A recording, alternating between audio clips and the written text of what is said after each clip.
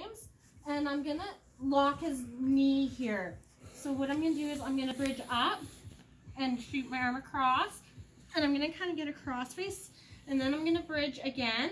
But as I'm bridging the second time, I'm gonna bring my right knee in. So I'm bridging again. My right knee is coming in and my left leg is kind of coming up on his back.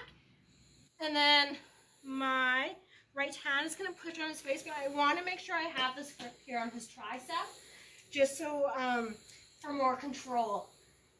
And then as I'm doing that, my left leg, I'm going to bring it around his head to the ground. But I also want to make sure I kind of bend his arm here so I don't hurt him. You want to keep your partner safe. Now I'm going to bring my left leg out, but I also want to control of his hips as I'm breaking him down and I come up. And now his arm, I'm going to kind of tuck it into my ribs to lock it in. And then I'm going to lean my body forward, but do it slowly so we don't hurt our partner. And I like to just grab control of the back of his gi here. Beautiful. Good. One more time, Janelle. All right.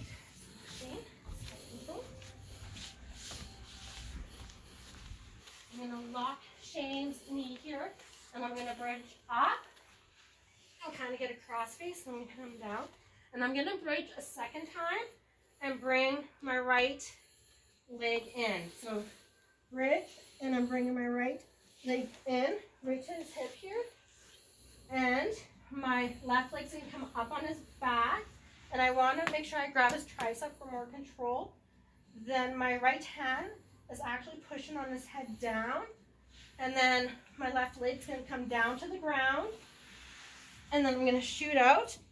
And I wanna make sure his arm is bent so I don't hurt him.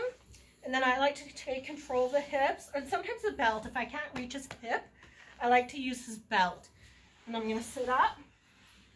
And then his arm, I'm gonna tuck it in the rib cage here. And I like to make sure I grab the gi here, just a little extra support. And I'm gonna kind of lean forward nice and slow so I don't hurt my partner.